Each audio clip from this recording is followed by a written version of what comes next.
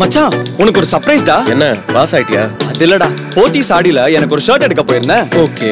அங்க ஒண்ணு வாங்கினா இன்னொன்னு ஃப்ரீன்னு சொல்லிட்டாங்க. அட்ரஸ் சக்க. அதுல ஒண்ணு எனக்கு இன்னொன்னு உனக்கு. எனக்கா? ஒன்னு வாங்குங்க ரெண்டா எடுத்துட்டு போங்க. ஆடி சேல் போத்தி நண்பேண்டா.